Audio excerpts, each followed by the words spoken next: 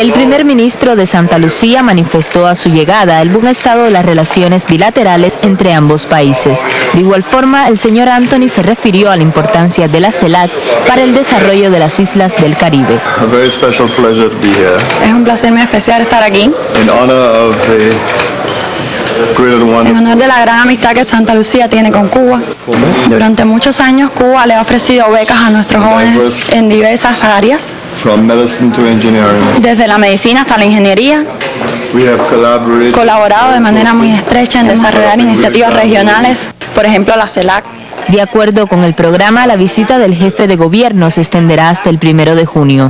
Durante ese tiempo cumplirá una amplia agenda que incluye diálogos con autoridades y visitas a centros de interés científico, médico y educacional. Los nexos entre Cuba y Santa Lucía se desarrollan fundamentalmente en los sectores de la salud, la construcción y el deporte. Ambos países establecieron relaciones bilaterales de manera oficial en agosto de 1979.